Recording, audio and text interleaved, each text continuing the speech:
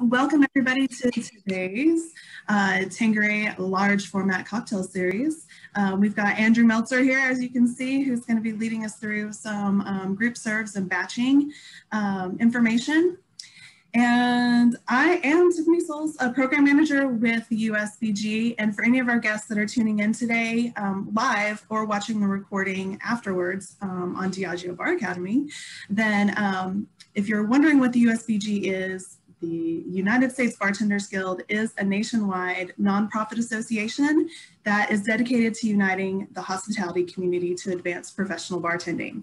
The vision of the USBG is for every US bartender to achieve greater personal and professional success by connecting to diverse local and national hospitality communities. Um, just some housekeeping notes before we get started. If you have questions, we definitely encourage those throughout the presentation. If you'll just place those in the Q&A box, that'll be easy for um, Andrew to see and respond to. Um, if you do put it in um, the chat box, then I'll try to help um, follow along and um, let Andrew know if there's any questions in there to answer as well. We will try to get to all of them by the end of the presentation. And um, now it is my pleasure to introduce Andrew Meltzer. Andrew is the 2016 U.S. World Class Bartender of the Year. Um, he's also a two-time food and cocktail pairing champion.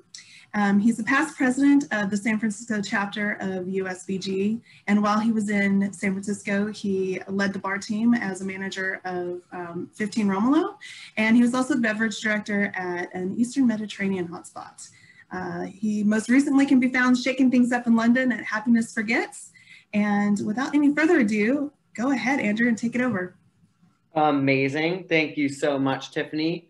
Um, like Tiffany said, I've uh, worked in lots of uh, variety of venues from craft cocktail bars with a speakeasy vibe to nightclubs that were super high volume, but still putting together craft cocktails and making use of batching um, to working in, you know, upscale, but again, high volume venues where we had large rooms where we'd cater parties of 30, 40, 50, or 100 guests. So we would rely on draft cocktails and punches and um, lots of serves that could cater to many people and give them a unique, tasty, and crafty experience. So I'm really happy to be part of this um, DBA, Diageo Bar Academy programming. We've had a few classes in this series.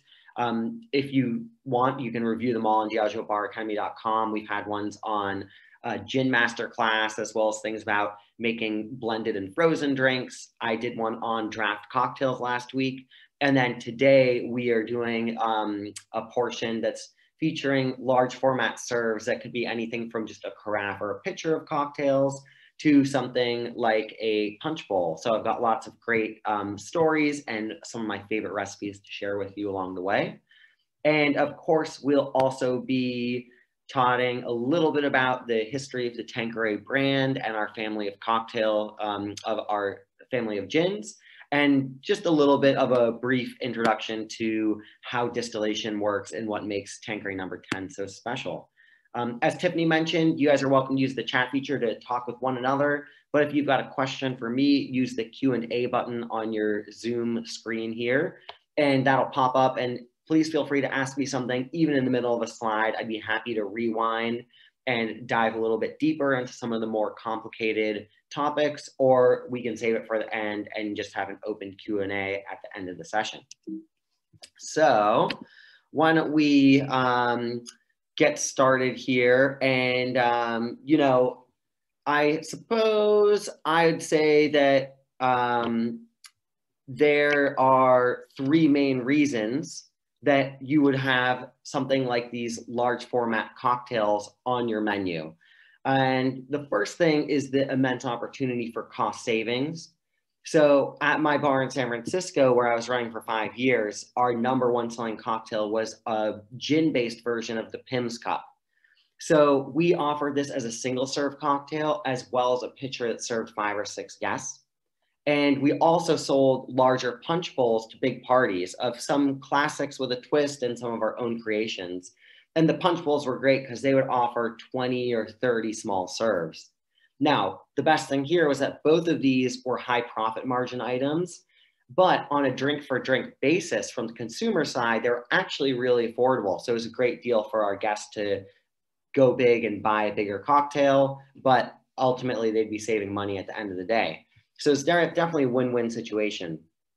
Now, the great thing for the staff here is that a busy bartender or server loves seeing a ticket where cocktail pitchers come up on an order because they know they can bang them out super quickly. And of course, I don't need to explain to you that making one large drink will always be making fa- uh, be made faster than creating five or six bespoke craft cocktails. Um, and the other thing is that if you only have one or two or three maybe offerings on this like large scale menu, you can train your barbacks, your supervisors, even maybe your senior servers on how to make these. That way, if they're trained also to sell them on the floor, when the bartenders are in the weeds, or maybe it's just one of those weird nights where you only have one or two people working and you've got a large group that just came in, you get the whole team involved and get them trained on how to sell it and how to bang them out and make them really quickly and satisfy the needs of your tables um, without bogging down service. So it's um, a great place to save on labor and also to just make a more efficient menu that will ultimately mean more profits for your uh, business. Keeps everybody happy. Now, while we do offer a full menu of more complex, adventurous, and costlier drinks, I will say that the pitchers and punch bowls, they've got to be crowd pleasers. So you want to make sure that all of these options are refreshing, value driven, that they're food friendly, and of course that they're suitable to the taste of the majority of your clientele. I'm not saying you should make them boring. They should just be um, really easy drinking drinks that you're not going to have like half of the group return. Um, obviously, you'll always have somebody at the large table that's going to be more adventurous and want to try some of your more bespoke and um, highbrow cocktails, and they'll certainly be ordering them. But you do want to have something that encourages group orders and repeat group orders. So it really satisfies your guests and, of course, your overall revenue. Um, now, a big part of this is not just selling it when guests arrive, but a lot of the time you have a booking of maybe a dinner or just cocktail hour for a group of colleagues, or maybe there's a big birthday party coming in, they've given you advance notice. Or sometimes you might even have a semi private or full buyout booking at your bar or restaurant.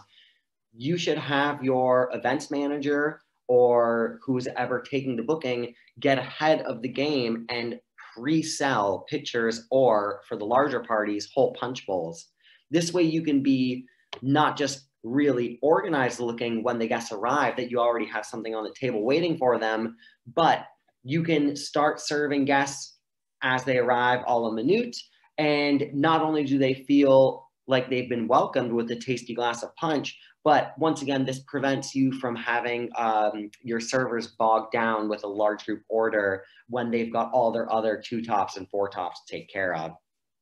So, um, you know, in these post pandemic times, the smart business operator will also make note of all of the takeaway and bottled cocktails that are happening. I, I see a lot of parallels actually at beer bars who for years now have been doing crowlers and growlers where you can fill up some of the draft beer, sometimes things that are only available on draft. So it also has a sort of like limited offering catch to it. And they'll be selling them in crowlers or growlers for people to take away with them. And oftentimes they're charging dine in prices for takeaway drinks. So this is a tool that bartenders and um, servers and, and owners and managers can use to their advantage by creating a bottled cocktail menu that's available both for dine-in and takeaway service, which apart from the fact that allows you to expand your brand's reach from not just within the bar or on your Instagram feed or whatever, but then your best customers who are taking drinks away become like a pseudo brand ambassador. And whenever they're maybe going to a friend's house for a football game or a birthday party or whatever it is, they're taking your brand with them. And of course, you're also adding to revenue and to the staff tips, since most people will end up still tipping a little bit extra, even on these takeaway drinks. And, uh, you know, one more thing about the large format cocktails is I think the fun part in it because, you know, a lot of people come for an experience at the bar and sometimes that experience is five people at a table all ordering five different cocktails and tasting them with one another. But when you do a pitcher of drinks instead for them, you can make up for this experience in other ways. So, um, with a large format drink, the benefit is that, of course, it arrives quickly at the table, so everybody gets safe, um, their needs taken care of. But your server can also do some sort of table side serve. So it could be something really small and easy, like just having the server pour from the pitcher a small glass for everybody at the table, which just really shows your high quality standards of service and that you're not neglecting them, even though they just ordered one big easy pitcher. But you could also, for example, do a um, punch bowl where the bartender will come out from behind the bar. And a good example would be creating most of the punch, like a French 75, behind the bar, where you'll have a cold bottle of Tanqueray number 10 and you pour it over ice block with some fresh lemon juice and a bit of simple syrup and a splash of water to give it a little dilution. Then you bring this punch bowl over to the table and you finish it with champagne tableside and then garnish it with some dried lemon wheels and a few mint sprigs. And not only is this a fun experience for the guests because they see you pouring in a whole bottle of sparkling wine and they're like, oh, wow, we're really getting our money's worth but this also gives them an opportunity to talk with the expert bartender or for your guest, maybe even to um, have a variety of garnishes brought to the table and your server or bartender might explain the differences between them so that each guest can garnish their own cup individually. Um, so there are lots of little things that you can do to elevate the experience that might not even be possible with a single serve cocktail. So there's an added benefit to doing the large format service here.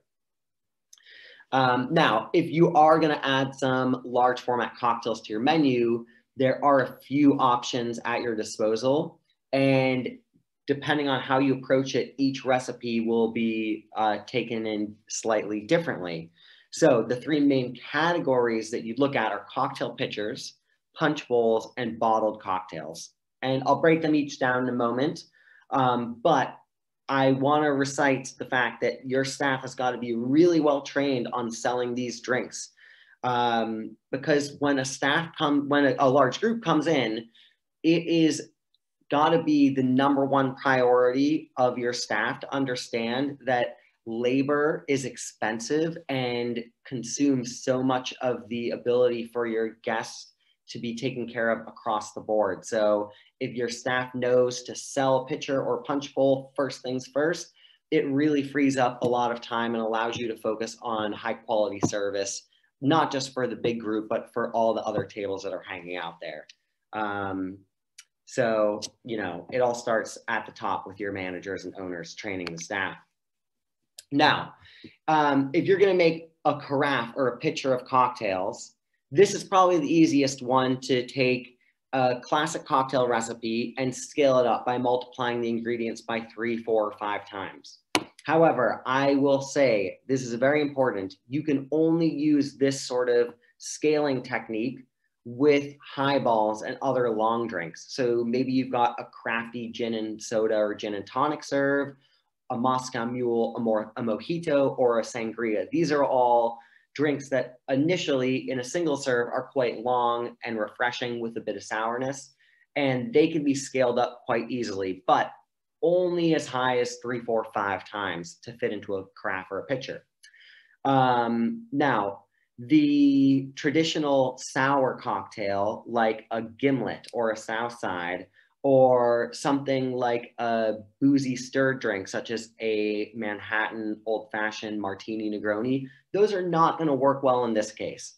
Um, later on, we'll talk about some bottled cocktails that work well for these um, boozy stirred drinks.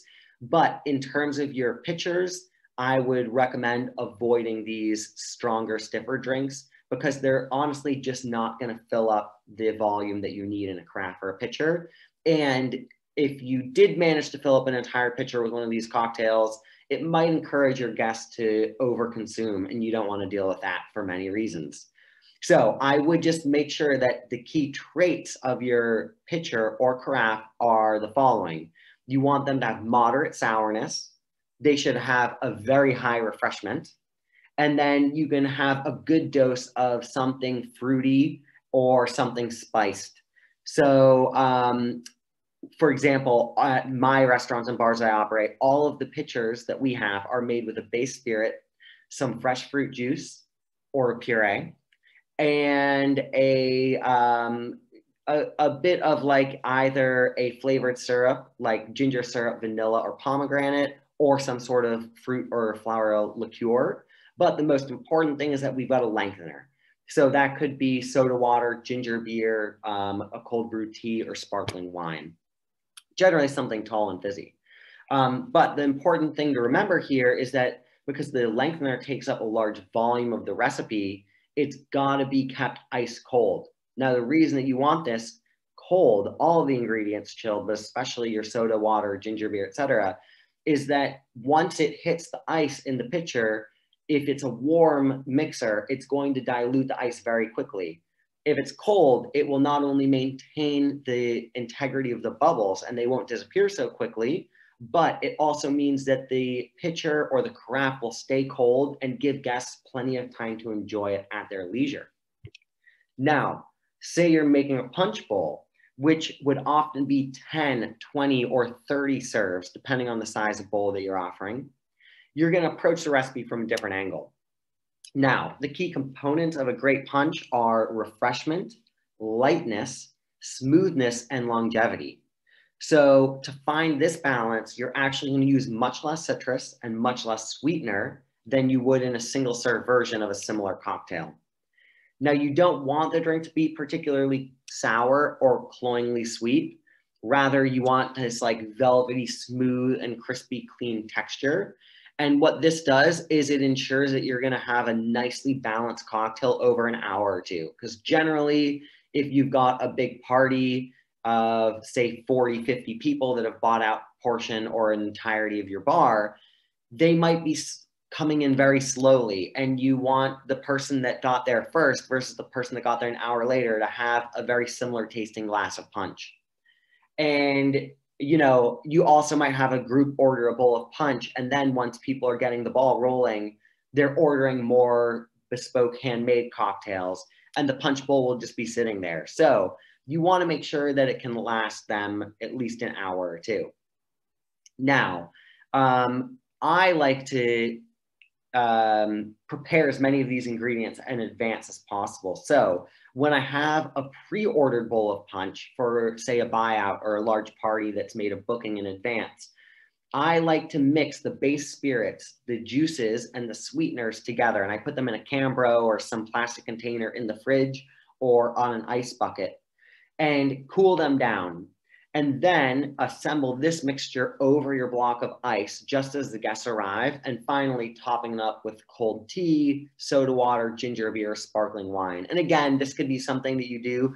You know, at my bar, we had a big whiskey barrel, and we would set the punch bowl on top of the whiskey barrel, and then have an assortment of garnishes, punch cups, and then the sparkling wine. And we would pour the majority of the sparkling wine on it as we were presenting the punch bowl to guests and then maybe after half of the ice block had been diluted, we would pour on that remaining third of the bottle of sparkling wine just to give it a nice bit of a refresher.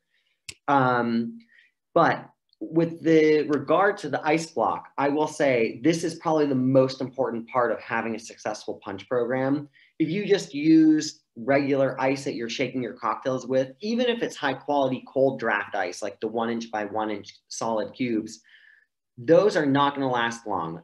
After 20 or 30 minutes on that sort of ice, your punch could be dead. However, if you use a block of ice, which doesn't need to be fancy, you don't need to buy ice from one of the delivery companies. You can certainly make this in a deep freezer or walk-in freezer. All you need is a two to four quart container. You could use like a bundt style cake pan or simply like a four quart plastic uh, Lexan or Cambro container, just not glass, of course, because that could break. And um, I would recommend filling it up at least two days ahead of time with filtered water. Tap water will work, but you will certainly get some cloudiness. I would say using filtered water is your best bet. Or you could even take some ice from your cold draft machine, put that into the container, and then fill it up with filtered water to fill in the gaps. That will also expedite the time in which it takes for this block to be frozen. Now, at my bar, we kept a par of three ice blocks in the freezer at all times, since they do take a while to freeze, and sometimes a group of 15 guys will come in after the game and they all want to hang out, and you're like, oh my God, I've only got one bartender on, the other person's on break. My server sells them bullet punch, boom, running back, grab one of the ice blocks, and this party of 15 is dealt with, and they'll take care of themselves.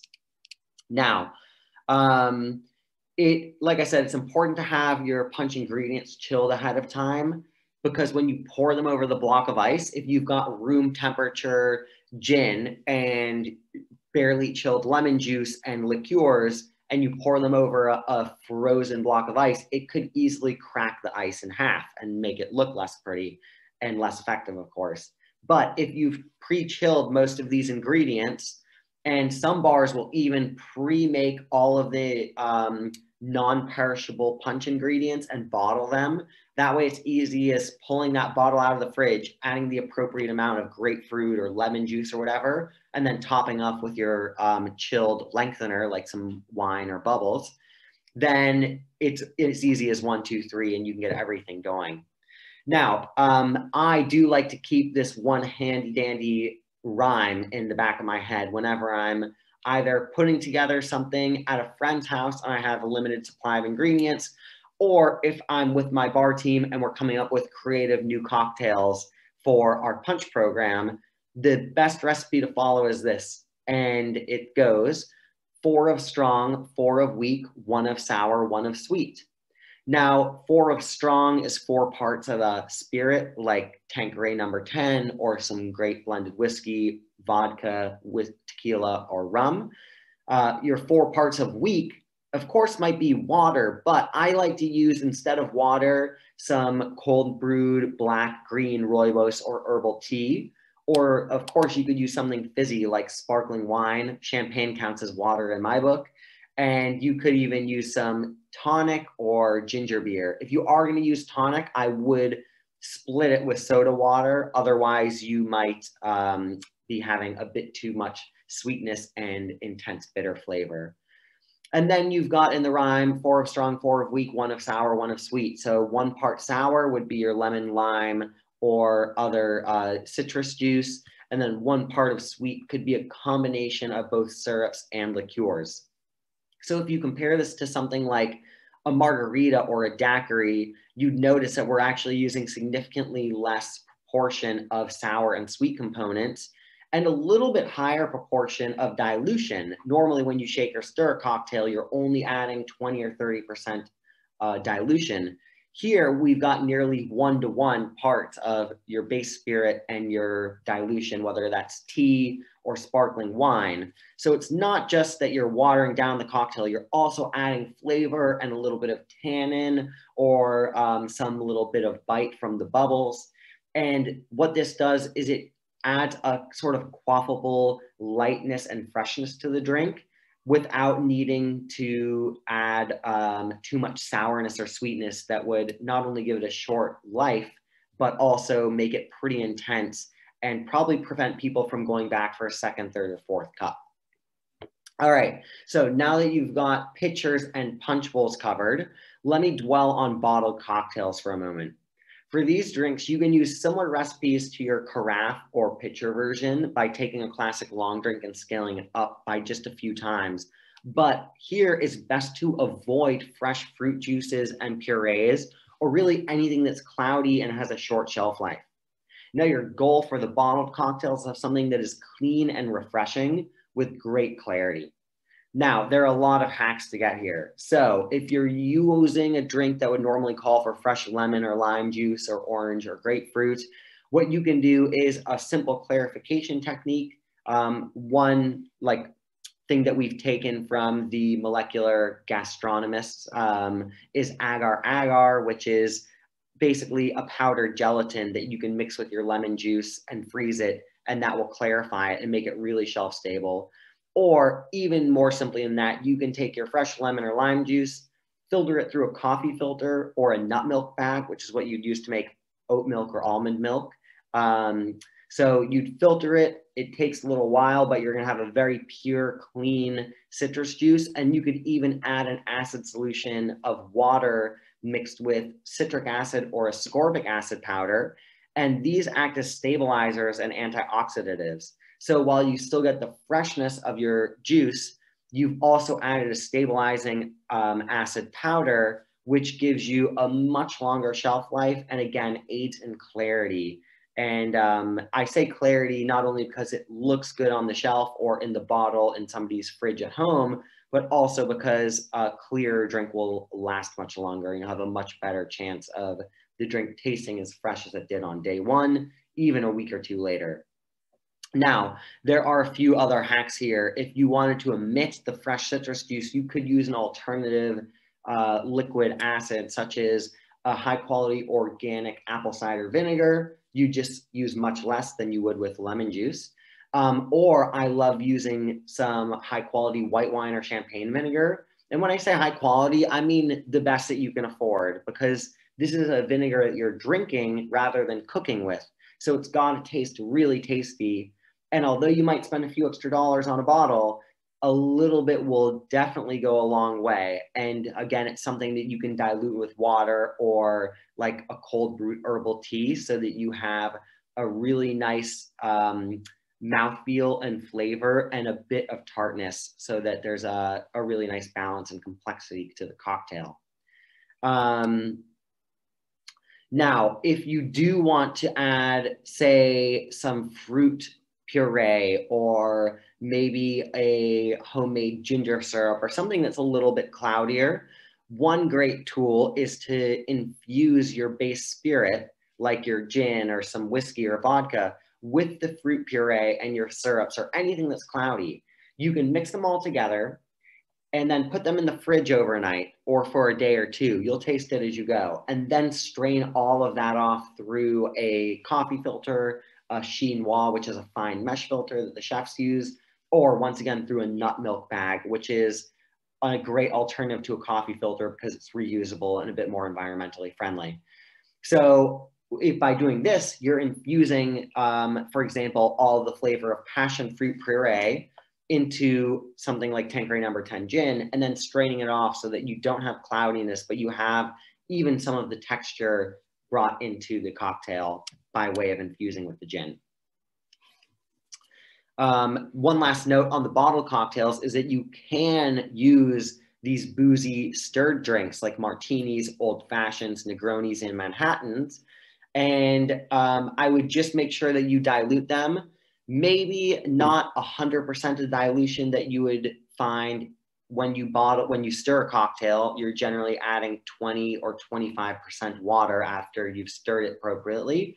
Maybe you add 15 to 20 percent water to your bottled cocktail because nearly all guests, when they take a bottled cocktail home, will serve it over ice, unless you have explicit instructions that say just shake this up in the bottle and pour it up in a cocktail glass um, because it's already at proper dilution. Some guests might read that, others might not even have the space in their fridge to keep the bottle appropriately chilled and they're going to pour it over ice anyway. So the last thing you want is for them to spend money on a bottled cocktail, take it home, and then find that it's, um, you know, too watery by the time they drink it. All right, so uh, pictured here is a basic set of tools that you would need for your large format cocktail program. I'd say everything here is pretty standard issue equipment um, for the average bar and restaurant. Um, there's a few things to mention. There's these swing top glass bottles in the middle and also on the bottom left, there's some plastic bottles. These are gonna be good for your bottled cocktail or takeaway program. Of course, the glass ones can be a bit more expensive, so you'll need to factor that into the price of the takeaway drinks. Um, and you know, when I'm pricing out takeaway cocktails, but I'm also pouring them in house, I would generally serve them, say it's like a 10 or $12 cocktail for dine-in price. You might offer a 20 or 25% discount if somebody's taking it away. Um, I wouldn't discount it much more heavily than that, or it kind of takes away from the value of this being a craft cocktail that you guys have put all this love into. And just keep in mind, even if it's something as simple as a Negroni, many guests don't have the ingredients, the tools, or the know how to make a great Negroni at home. I know it seems so simple for us bartenders, but um, you can still make a good deal of extra money by serving great old fashions and martinis and things like that as a takeaway on top of your, you know, more bespoke and creative cocktails. Um, anyway, back to the slide here. There's also some things like a uh, bundt pan, which is something that you could use to make an ice block that has a nice shape to it. And the cool thing about that is you might even put some dried flowers or orange slices or something that will freeze in there. And then you can have this nice, um, you know, frozen ornamental ice block for your punch bowl. I will just give you a word of caution that if you have stuff like a slice of orange in there, it does mean that the ice block will have a difficult time becoming crystal clear. So you might have excessive cloudiness and you could even like burst the cells that contain the juice in the orange. And while it might now have an orange flavor or scent to the ice block as it's melting, it will certainly change the flavor of the punch. Um, it will definitely melt a little bit faster and it won't look as good and it might crumble as it's melting. So maybe experiment and start just with some dried flowers or something that is going to be um, a little less problematic with your ice block.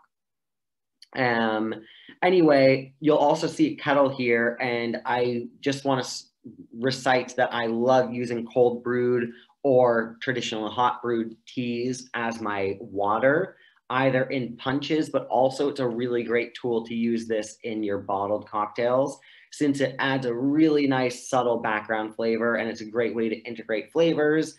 Um, and for me, I like to incorporate tea programs at my bars and restaurants that either use teas from the country where my cuisine is from. So I ran a Mediterranean restaurant and we found some teas from a group of women that were foraging for wild herbs and blending the teas as part of a woman-owned cooperative. So the teas had a really good story and we incorporated them into a lot of our cocktails.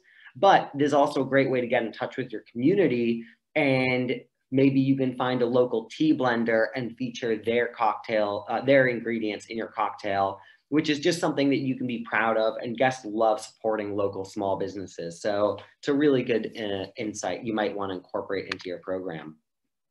Now, let's review a few of the important things that we've just discussed about the large cocktail programs here. Um, now, it is of the utmost importance that all of your ingredients for the large group serves are as cold as possible. That means your soda, tonic, ginger beer, and sparkling wine are chilled for the pitchers and carafes. And all of your ingredients, including your base spirits, are um, chilled. And that means you could even keep your gin and vodka and stuff frozen if you're going to be using it for punches. And you keep them cold or mix all the ingredients and put it in the fridge before you add it to your ice block. That way everything stays colder and more refreshing for a longer amount of time. And of course, it also prevents the ice block from cracking or falling to pieces.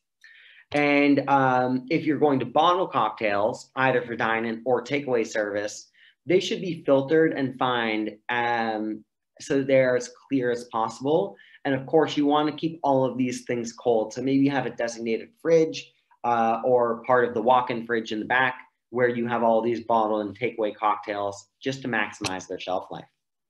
Now, when you're adjusting recipes for the pitchers and carafes, it's best to start with long drinks that already use a lengthener like soda or ginger beer. And for the punch bowls, you'll use less sweet and sour components so that you have a lighter, velvety, and crispy clean cocktail that lasts for a long time. And remember the rhyme, four of strong, four of weak, one of sour, one of sweet. And that's a great way to start, whether you're adjusting a French 75 or a mojito or something like that. uh, it's a good rule of thumb to follow when you're making a big, big batch of drinks. Now, your service staff and events manager should be well versed on how to sell pitchers and punch bowls, and especially the events manager when they're taking big reservations. They should have this sold before the guests even arrive at the bar. Now, you should also have some bottled cocktails, as a cool takeaway, and you could even include with them things like a branded newsletter, some stickers with your logo on it, or even some special garnishes. And this will help add to your sales and bring in more tips for your staff while also allowing your guests to take a bit of the bar experience home with them. Now, uh, you can use some of the time that you save behind the bar and on the floor uh, by making exciting tableside experiences. Like I said, this could mean garnishing or finishing the cocktail um, by the bartender or server tableside. And I also recommend that you have appropriately sized glassware to go with all of these. So for pitchers, I like to use a six to eight ounce juice glass, like a small orange juice glass. And even though I would normally serve the same cocktail in a 10 or 12 ounce glass, by using the slightly smaller one, it means that each guest will get at least one or two refills and it makes them feel like they've gotten more value out of their punch or out of their pitcher, excuse me.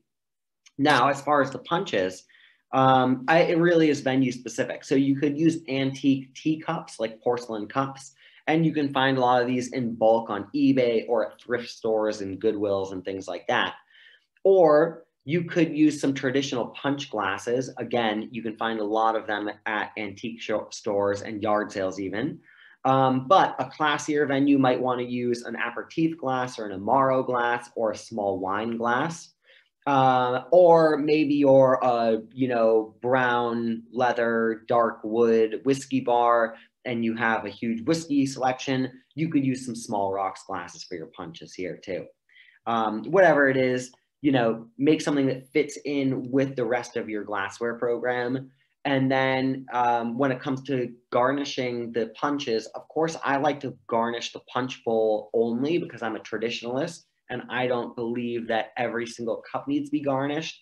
But I see more and more, especially in upscale, trendy venues or restaurants and hotels, you'll see a punch bowl will come served with some garnishes in it, but also with a variety of um, different garnishes that guests can use. It kind of reminds me of the myriad gin and tonic offerings where it's 15 kinds of gins, 15 kinds of tonic, and each one gets a different specialized um, botanical or dried fruit and herb that can be used as a garnish. And sometimes guests are allowed to mix and match and create their own. So just a great fun experience for guests to customize their own drinks. Now, um, here's a snapshot of four classic, very simple cocktails that can be easily adapted to large format serves. So I encourage you to get creative and adjust these um, as it fits your needs and the skill level of your bartenders and of course the tastes of your guests. So um, on the left is a Ketel One vodka lemonade. And this is a great example of a long drink that could be used for pitchers and carafes, or as well for bottled serves if you could clarify everything pretty well. Um, now, then there's a Southern style punch that could highlight Crown Royal Deluxe. And in my opinion, I would serve this maybe with some cold brewed black tea or rooibos tea, and then add a bit of lemon juice and a bit of a peach liqueur. Um, and in some cases, you might even add a dash or two of Angostura bitters, but I generally try to avoid bitters and Amaro or other bitter liqueurs in my punches because those things can bloom or blossom in the punch bowl, which means that when you're building the cocktail, it tastes really good. And then 30 minutes or an hour later, all you can taste is Angostura bitters or whatever's in there. A little bit is fine. Just reduce it by maybe um, five or 10. So using, you know, 10 or 20% of the amount of bitter ingredients that would go into a standard size cocktail. So you're just really lowering that. Anyway, like I said, a really nice Crown Royal punch might have some peach liqueur, lemon juice, and black tea or something like that. Next, we have Johnnie Walker Black Label Whiskey Sour. And I think that this could be bottled and then served on the rocks. Or if you wanted to make a carafe or pitcher, you could take a classic sour like this um, without the egg whites in this case, and then serve it with some soda water in a carafe or pitcher. And that would lengthen the cocktail and make it much more suitable for guests to share. And then on the end here, um, we've got a classic punch bowl that could feature Tanqueray number 10.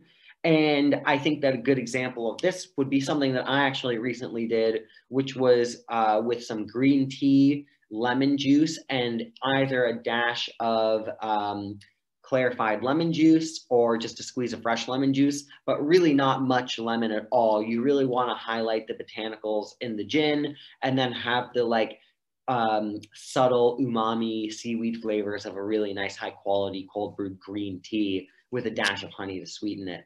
Um, and another great option might be to do like a Paloma style cocktail using Don Julio Reposado tequila with some fresh lime juice and some grapefruit soda. And you could maybe even add a dash of triple sec or orange liqueur or something so that you've got a little bit more complexity. That's a really great option for a punch bowl.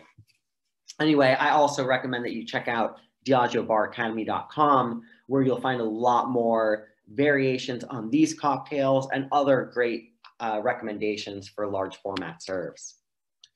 Uh, anyway, those are my thoughts on punches, pitchers, carafes, and punchable and uh, bottled cocktails. Please add some questions into the Q&A box up here, and I'll answer them um, throughout the rest of the session here. Uh, but I would like to chat a little bit about um, gin and its history, how we distill Tanqueray, and then I'll move into a demonstration and chat about one of my own favorite recipes that we've made for punches at my cocktail bars. All right, so what exactly is gin? Well, I'm sure many of you can answer this, but it starts off with a neutral spirit. It's essentially similar to vodka, but this neutral spirit can be made from wheat, rye, barley, grapes, potatoes, sugar beets, basically anything that can be fermented and distilled to over 95.1% ABV becomes a neutral spirit. Now, the difference between gin and vodka is that the neutral spirit is then redistilled with botanicals. And of course, the only botanical that is required to make gin and call it gin is uh, juniper. And, you know, juniper is what gives gin its earthy, piney, kind of savory and oily flavor and characteristics. But every gin on the market also has some other herbs and botanicals in it. So you might find some roots, barks, herbs, flowers, and fruits in um, a variety of proportions. Now, of course, the name gin comes from Genever, which is the Dutch word for juniper. So it was the Dutch who first created this juniper infused spirit which was actually originally made from malted barley. It was very similar to whiskey. Um, and there's a lot of traditional Genevers that you can find that have a distinct malty flavor.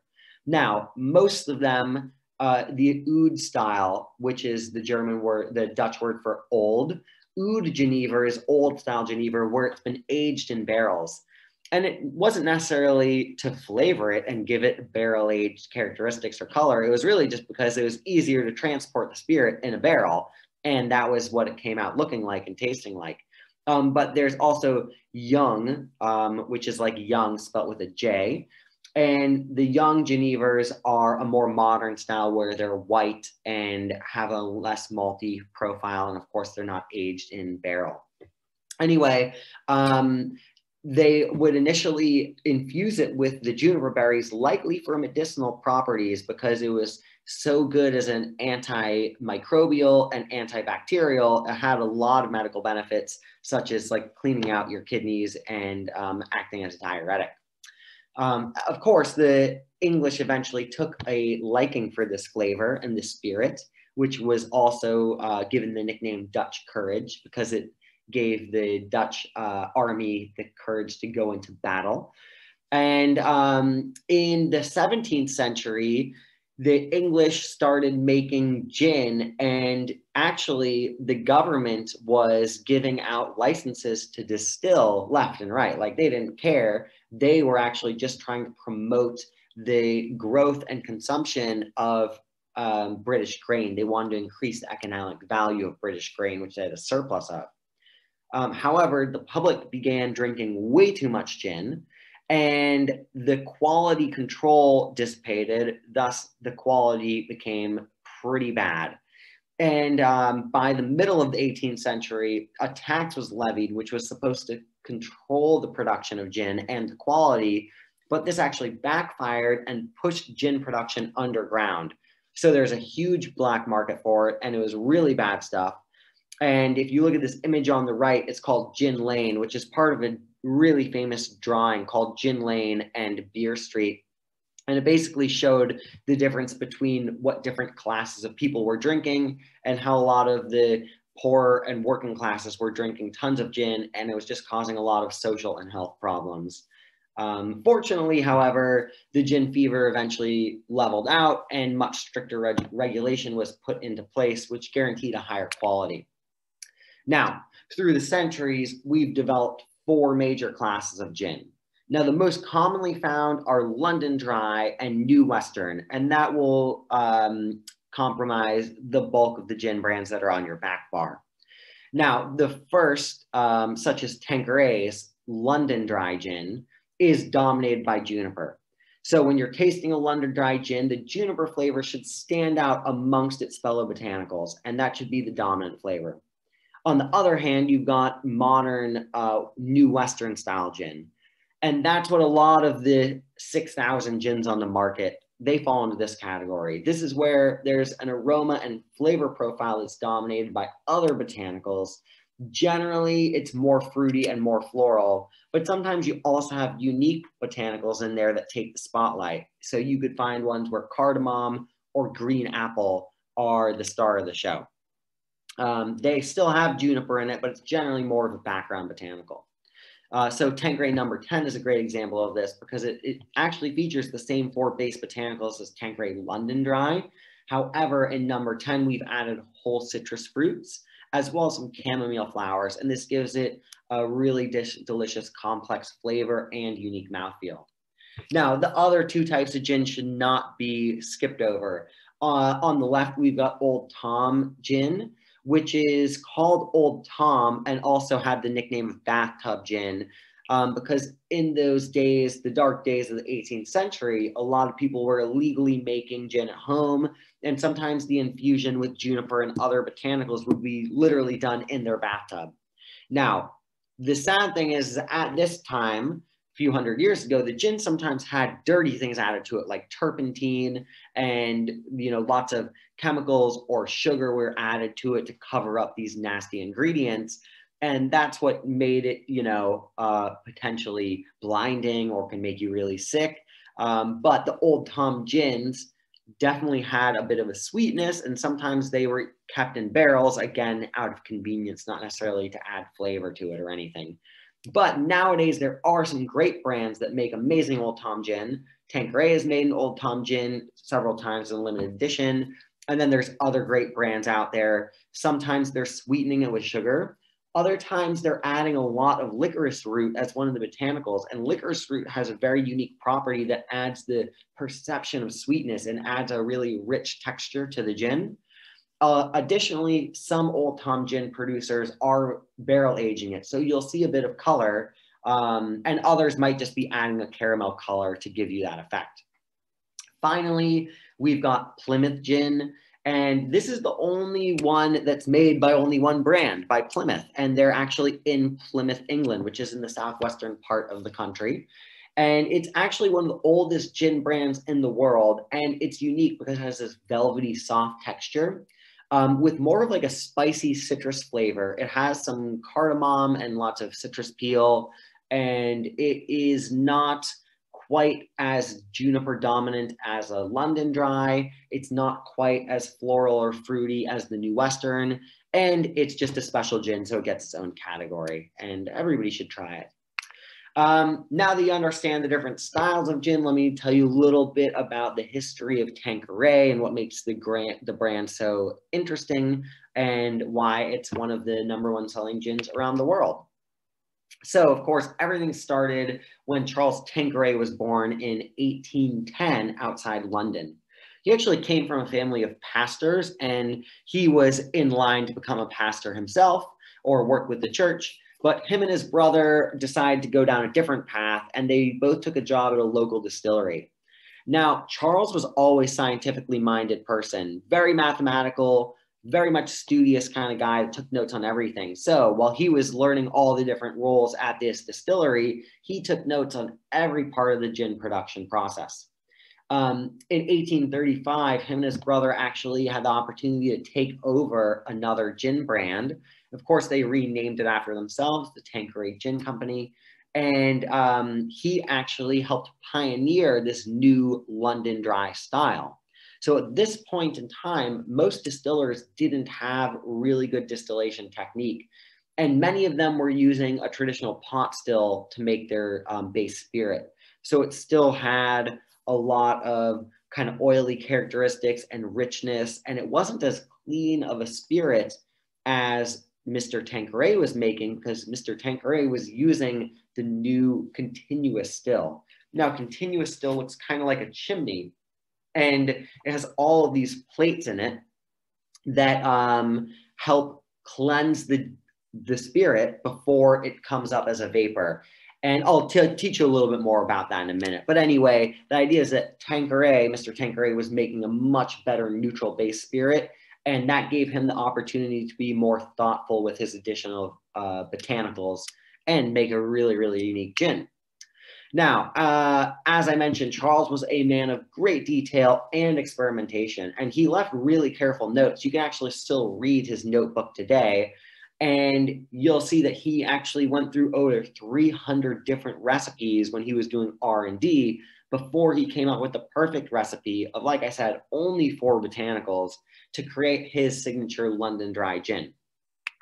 Now, being a London dry gin, like I said, it's essential that the primary botanical is juniper. But a gin like Tanqueray, although an experienced taster might be able to pick up a symphony of aromas and flavors, um, it actually only has a supporting cast of three other botanicals. So they're all listed here. Um, one of my favorite botanicals, and you see this a lot in both London Dry and New Western gins, and that's coriander seed. So coriander seed uh, which of course we know is the um, seed that produces coriander or cilantro, uh, the plant, the herb. Um, the seed actually has a really nice citrusy flavor and also a bit of a tickle of vanilla. So although there's no orange peel or whole citrus in Tanqueray London Dry, there are a lot of citrus components and that comes from the coriander seed. Um, now, another familiar flavor here is licorice root, but that's not licorice like in the candy that we know of.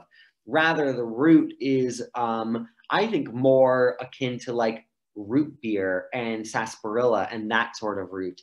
Um, and what it does is it gives you this earthy flavor, a perception of sweetness, and an oily texture. And again, this is something you find in tons of gins. Finally, we have angelica root, which is um, got more of like an herbal high note and this very floral characteristic. But the interesting thing about Angelica is besides being used in a lot of gins, it's also used very heavily in the perfume industry. And that's because Angelica has this very special chemical property that allows other aroma compounds to attach themselves to it. And some aroma compounds are very volatile, which means that the second you let them out of the bottle, they disappear off into the ether and then you can't smell their beautiful aroma or flavor anymore. But when something attaches to angelica root, angelica root kind of plants itself. So imagine in the perfume business, you'll have these very expensive, nuanced, highly volatile flavors and aromas. They attach themselves to the angelica and the angelica kind of sticks onto your skin and it doesn't go anywhere. So it binds everything together. It's kind of like using um, gluten when you're making bread or having an egg yolk to make some mayonnaise. And that binder allows everything else to attach to it and keeps your flavors all together.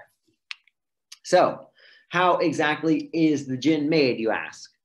Well, Um, first, you should know the original Tanqueray distillery was in Bloomsbury, which is part of London. Nowadays, however, all of the Tanqueray in the world, no matter where you buy it, is actually made in Cameron Bridge, Scotland. And it's at one of Diageo's most important distilleries where we not only make all of our gin, but we also make a lot of the base distillate for some of our biggest whiskey brands. Um, so although we've moved from Bloomsbury to a higher capacity distillation uh, distillery, um, it's Charles's spirit and original recipe. And in fact, his original pot still have moved up to Cameron Bridge. So the, you have the soul of the spirit in every single bottle of Tanqueray. Um, well, as I mentioned, the manufacturing process starts with the neutral spirit, which is made in continuous still. That's the one that looks like a chimney. And um, it's the cylindrical still that has all these copper plates inside. What happens is the copper plates stop the heavy particulate that's evaporating um, from escaping out of the top. Rather, it makes it all go in a cycle. So it evaporates and distills many, many, many times, cleaning it and cleaning it and cleaning it before it comes out and condenses back into a neutral spirit, which is pure alcohol that comes out the other end, nearly entirely pure alcohol. Um, anyway, when you take this, it's a pretty boring basic spirit. It's just like a nice neutral vodka. But the magic happens when you redistill the neutral spirit in a copper pot still like the one you see on the screen. So we've got the old Tom still, which looks a lot like the distillery you might have seen if you've ever been to a rum or whiskey or brandy distillery. Now, what happens is when you're in a copper pot still, the shape and the texture and even some of like things that come from the age and the use of the still over the years affects the texture and the flavor of the spirit that comes out. And what you do is you put your neutral spirit inside this pot still and you basically put it in a bath with all of the other botanicals you want to infuse and you distill it again. And now as the spirit is macerating with your uh, botanicals, it's absorbing a lot of their essential oils and aromas and flavors. It's coming out at a slightly lower ABV than it would have in the um, super efficient continuous still. What this means is that some of the oils and aroma and flavor compounds from your botanicals are able to escape from the still with the spirit. And what this does is it gives this amazing texture, mouthfeel, and complex flavor and aroma to your spirit. And that's how we get our gin. But we should learn a little bit more about so guys, Tanqueray number 10. the Tanqueray still house, where all the Tanqueray in the world gets made. We've got three pot stills that make all this delicious juice, but there's one pot still that's really special for us, and that's the Old Tom.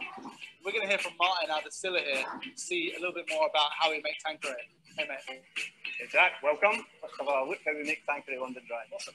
There's three main components in charging a still. Okay, so first we have demineralized water. So that will go into the still first. Following that, we have GNS, which is neutral spirit.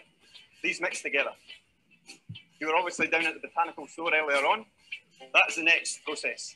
So we have juniper, coriander, angelica, and licorice. So we wait still fill up. We'll seal it over, which we're about to do just now. So Jack, you do the honours, close it up.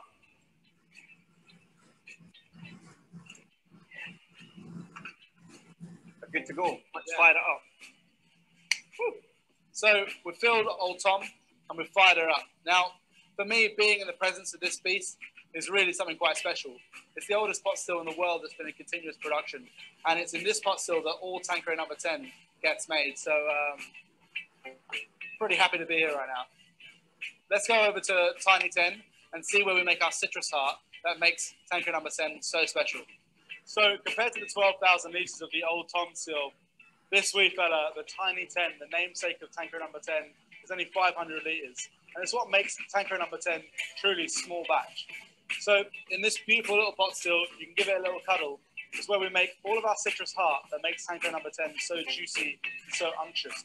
So what goes into our Tiny 10 to make that citrus heart? The key is fresh whole citrus fruit. And here we've got a combination of three citrus fruits. We've got white grapefruits from South Africa, limes from Mexico, and really juicy oranges from Florida. They go in there all diced up, juice, the skin, the flesh, the pith, all of the oils, and they're going to go straight into the pot still. So now our Tiny 10 has been filled with fresh citrus fruit. It's time to fire it up.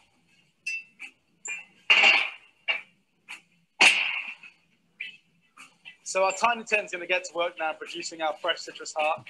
That distillate is then going to travel through the distillery into our Old Tom, where we're going to finish off Tanqueray number 10's process. Right, so Jack, the still has been heating up.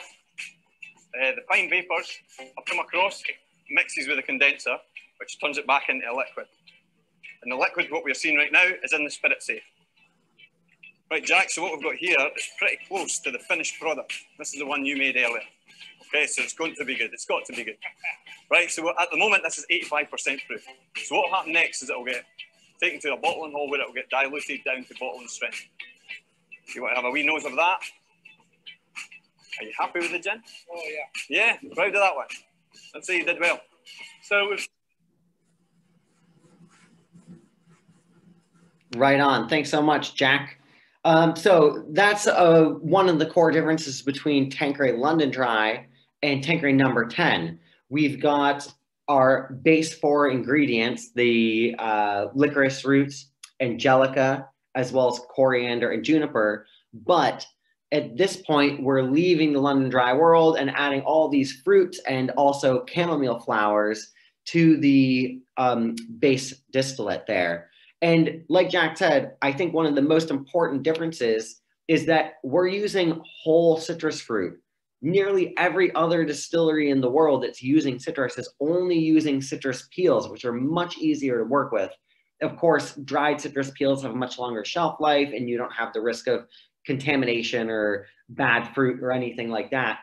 But by taking the risk and using whole limes, grapefruits, and oranges to make Tanqueray number 10, we can actually add a really unusual and um, delicious juiciness to the cocktail, which is why it's become one of the world's number one most popular and highly awarded gins. In fact, at one of the most challenging spirits competitions in the world, it's the San Francisco World Spirits Competition. We've won double gold and best gin so many times that they've had to retire the brand from the competition. So if you look here, once again, these are the eight botanicals that make Tanqueray number 10 unique. And I love the, the fruit in there, but I also enjoy using the chamomile.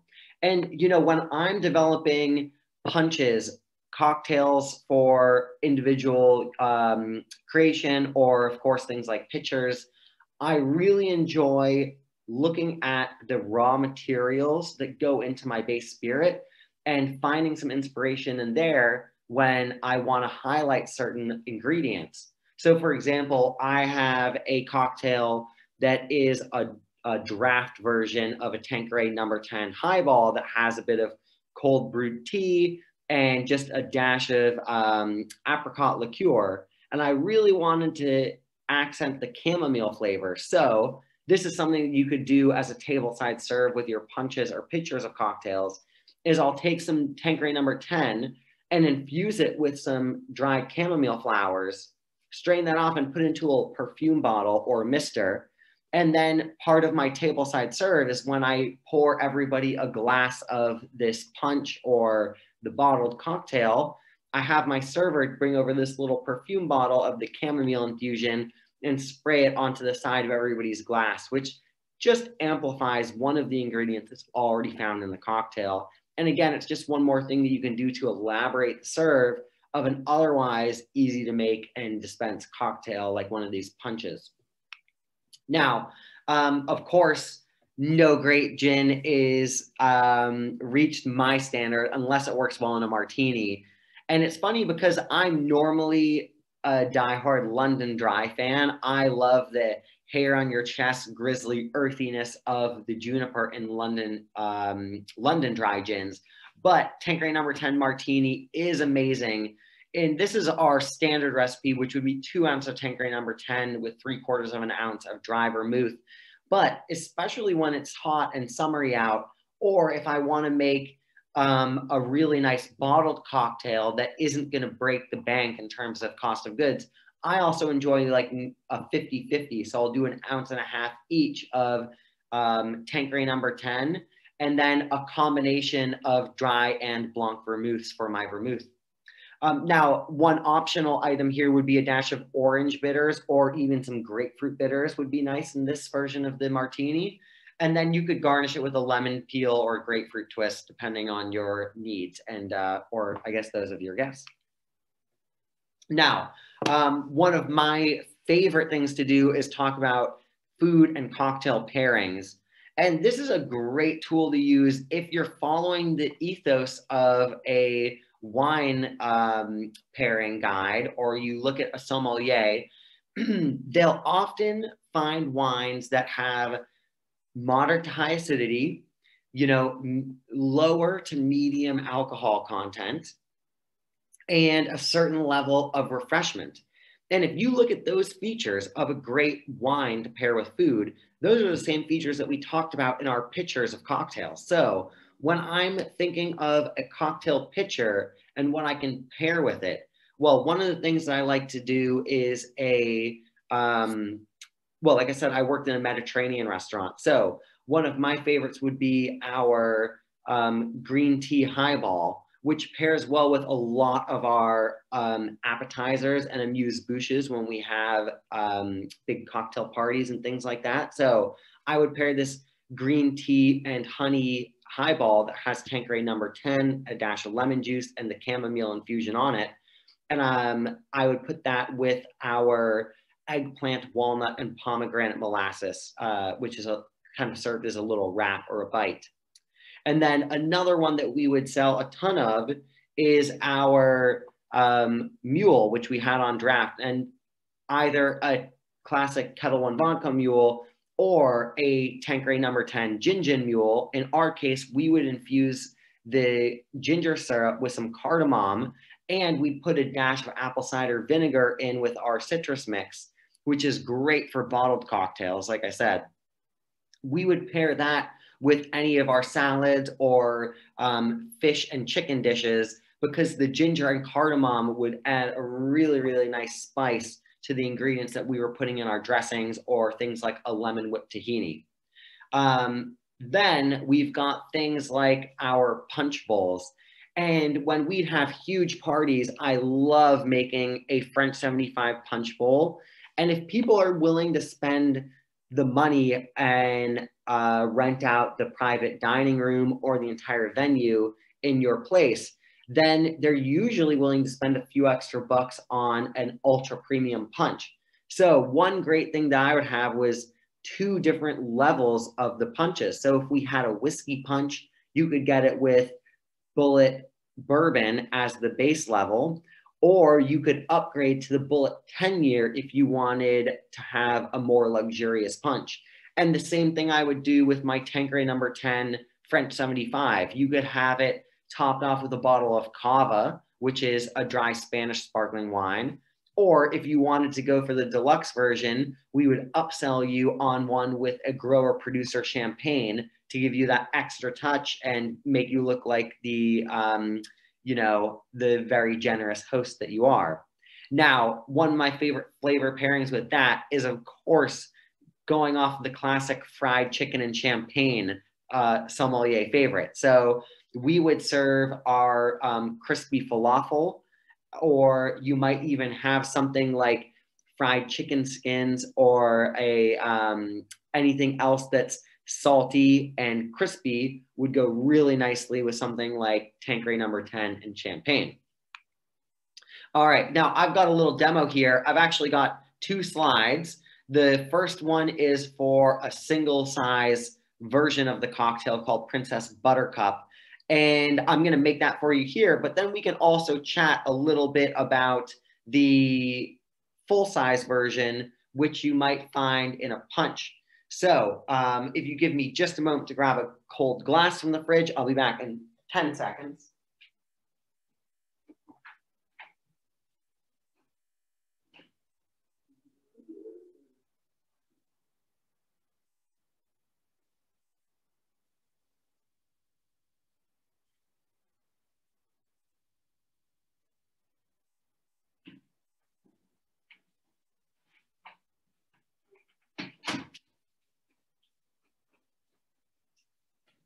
Thank you for your patience. So uh, this is one of my favorite cocktails using Tanqueray number 10. And I'll go back to the slide here that has the single serve recipe.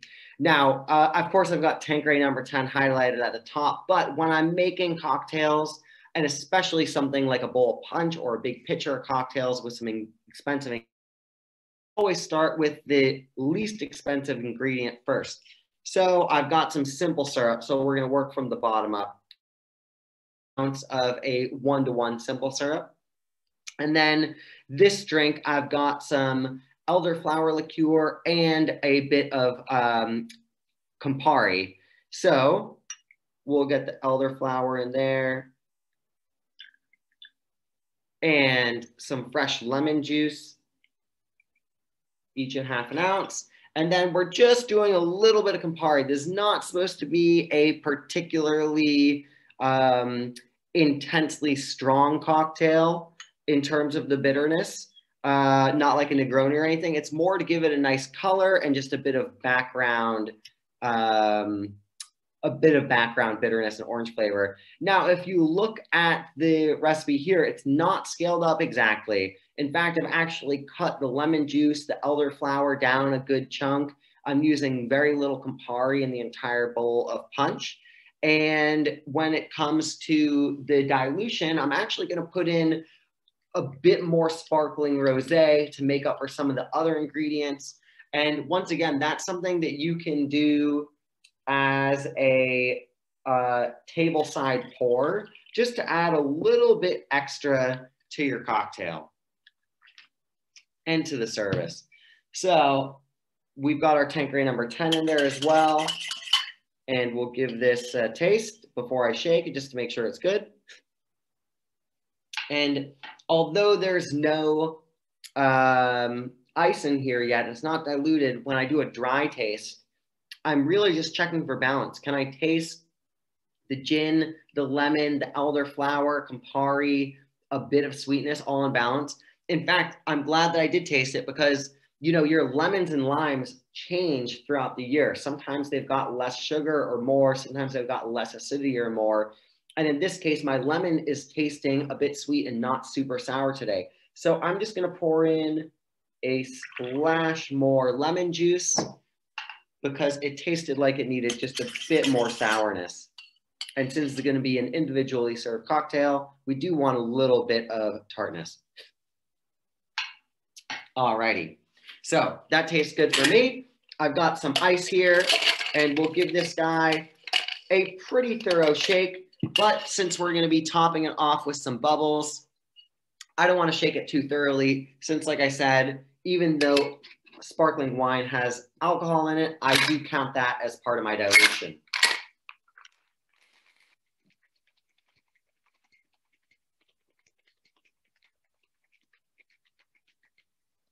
So just cold enough that I can see the tins are frosting over and I'm using pretty big cubes here, so it's not gonna over dilute it.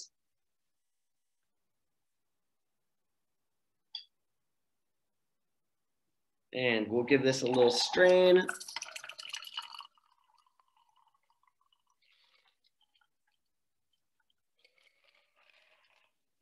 And then I'm gonna top this with a little bit of ice. And I've got some sparkling wine, some rosé bubbles here. And I'm going to do a lemon twist, uh, sorry, a lemon wheel here, but I've also got a lemon peel and I'm gonna just give it a little bit of a zest so I have some of the lemon oils on top and you can just discard that. But I wanna give it a really nice aroma. And as you can see, I've got this really gorgeous, pretty pink color. And I will say it is really important when you are designing large format cocktails that they can A, last and not change in color or um, separate so much over time. But it's most important that the initial color and presentation are very attractive and something that your average guest is going to enjoy. So, of course, some people like the more experimental drinks or um, something with some kale or some funky whiskey or aquavit in it. And those are fun to make, don't get me wrong, but I do recommend having something that's delicate and pretty and refreshing looking when you're making a really large format version so that everybody likes it and that it doesn't dilute or get ugly or weird over time.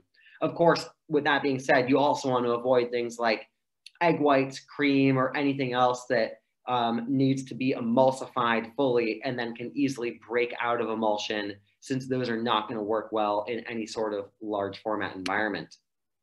Um, uh, my friend Chandler asks if the name of this cocktail has a story behind it. And I will say this is not my invention. It is from 15 Romolo, where I worked for five years. And this cocktail has been around there for at least 10 or 15 years. And I'm not sure exactly where the name comes from. Shame on me. I should know the answer to that, and I don't. Um, but I'll find out, Chandler, and I'll email you or message you separately and get a little um, feedback for you. Um, anyway, that's the cocktail there. I already went over some food pairings, and that sums up the lesson today. But I do wonder if anybody else has any other questions, please put them in now. Um, if not, please um, follow up with us. Tiffany, do you have a survey for today's? I do, and I will put that. Um, I know that we did have one question early on. Um, when you were first talking at the beginning about batching. Um, why is it important to avoid the cloudiness that comes from fresh juices or purees aside from visuals? Is there, mm. Oh, and then there's a second part.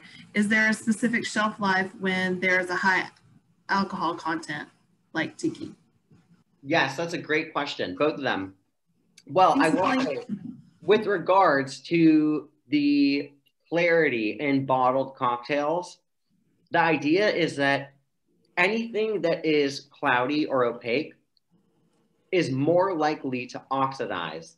So those are the parts uh, in a lemon juice, for example, it's the pulp that will oxidize before the actual sugar and acids in the juice will go bad.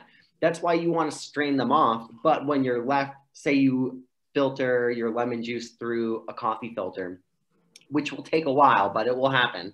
Um, what you're left with is a much purer, cleaner uh, ingredient that's mostly just water, sugar, acid, and a bit of the oils and flavor molecules that make up lemon. Whereas the organic matter, which is most of the pulp that's left behind, is the stuff that would technically go bad first. And it's the same thing with um, fruit purees, like say you've got a passion fruit or strawberry puree or something like that, the flavor molecules that are in there and also the sweetness and the natural acids that are in that puree can easily be transferred or infused into a rum, whiskey, gin, vodka, etc. And then when you strain it off, you're leaving a lot of the organic compounds behind, but most of the flavor molecules have easily been transferred and infused into your base spirit. Um, so yeah, it's really just a matter of extending the shelf life. And with regard to that, I will say the best rule of thumb is when you're making a bottled cocktail, if you can have the bottled cocktail at 25% ABV or higher, it's going to have a really long shelf life. Now, that's pretty strong, I admit. So just using 20 to 25% ABV as a benchmark and aiming for that in terms of ingredients that you want to keep for a long time. So, say you make a bottled cocktail where you have an infused spirit. You can infuse the spirit and keep that full strength and keep that for a long time. And then you could make small batches of the bottled cocktail that are already diluted partially, say to only 15 or 20%, and you would just want to sell those more quickly and get them moving through the line with as um, rapid a pace as possible. But in terms of your homemade liqueurs and infusions, 25% ABV will basically be guaranteed a very long shelf life. Anything below that, you most certainly want to keep it in the fridge, especially if it's a bottled cocktail and has any sort of fresh ingredient in it, um, just to keep it preserved and once again, even if you're adding some acids like a clarified lemon or lime juice, I do highly recommend ascorbic acid powder, which is vitamin C powder, and diluting that in some water because it's antioxidative, as well as raw organic apple cider vinegar. You don't want that to be 100% of the acid that you're using, but if it's a part of the acidity, it also has antioxidative powers and it will guarantee a much longer shelf life and just a stabler flavor profile for your cocktails. Uh, so if there are not any other questions, then of course we want to take this opportunity um, to thank you as well for attending today. We really appreciate it and look forward to seeing you on future um, seminars. Have a great afternoon, everyone. Thanks, y'all. See you next time.